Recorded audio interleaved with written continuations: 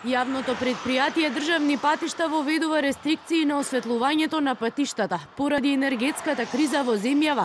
На државните патишта ќе се вози со намалено осветлување. Рестрикции нема да има само во тунелите.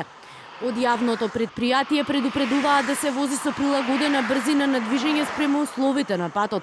За да се зачува безбедноста на патот, возачите повикуваат да бидат внимателни.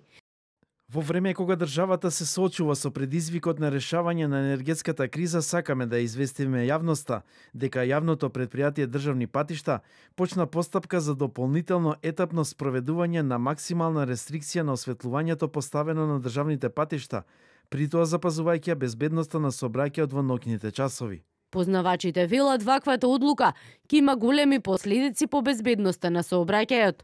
Воопшто е познато правилото види и биди виден во сообраќајот. Ова значи дека осветлените патишта обезбедуваат идеална, скоро идеална видливост при одбивањето на сообраќајот.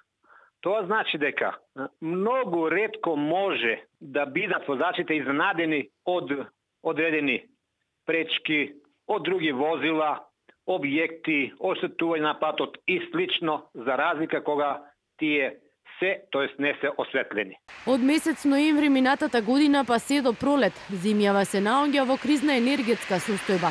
Но како што беше посочено од страна на надлежните, рестрикции за граѓаните нема да Целта на кризната состојба беше само финансиски да им се помогне на енергетските компании во земјава.